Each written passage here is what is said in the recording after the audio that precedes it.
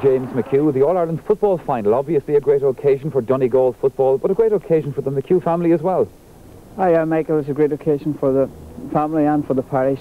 There's two members of the team uh, playing in the final, and uh, we're very hopeful that uh, hopefully it'll work out as well. For a player like yourself in particular, this is surely an occasion that you will relish because you've been on that Donegal team for well, several years now, back to the 83 team, so I'm sure you're looking forward to this match. Yeah, it's something that uh, it looked bad at a lot of stages that we'd never get to a final, but this team kept plugging away. We're around a long time, as you say, and uh, I think it's just reward for the players that have put a lot of work into it. I know there's a lot of players that never get to finals and that there, but uh, this team put in a lot of work. We sat down at the start of the year this year and we said we were going to give it one hell of a go this year, and so far things have worked out, and we're just not happy to be in the final. We're hopeful that we can go the whole way. As Donegal now know, having got to the last round of the championship, there is a fierce commitment that has to be made there of your personal time, of time off from work, uh, of all of the aspects of preparing for a big championship. Yeah, it's, it's, it's something that it's important that um, everybody, most of the lads are working in jobs that they're able to get time off, and we're lucky enough that we have that. But it's something that Donegal people, we never thought we'd be training until when the evenings are getting short again. It's a great thing. It's something that you, we, we dreamed about before, and now it's happened. You know. James, looking at the match itself, it's a great occasion for Donegal, but the question is, can you win it?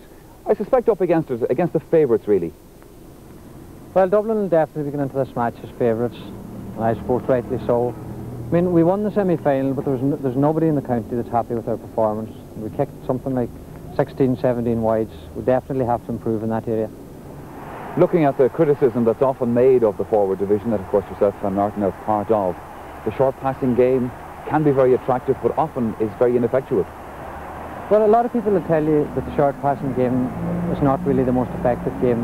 But I mean, it's what we have what this team has brought along, I mean, we had the short passing game in 1990. We had it every year so far. And I think at this stage it's a bit late to try and change our tactics. Well, Martin, on that particular note, that's a question that a lot of people are asking. Will Donegal persist with the short passing game for the final? Well, I think it's, you have to take every match as it comes. The Dublin match is going to be different to the other matches.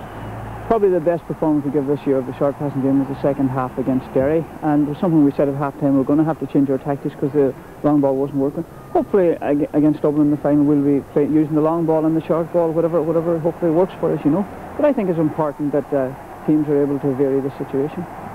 Martin, it would be a most unusual thing if an Ulster county took the All-Ireland for a second year running. You could be the second big D to do that. And obviously you carry the hopes of the whole uh, province up here, I'd imagine. Yeah, we know the minute whatever team leaves Ulster, the whole province is always behind them, and we're all behind Down last year, and it was a great occasion to be up at the match last year, and this year is no different. They're all going to be behind the Donegal seniors and the Armagh minors, and it's a great occasion for Ulster football. They've actually won the league already. It's come to Ulster, so Ulster football is booming at the minute, and we're hopefully, hopefully we can, we won't let them down either.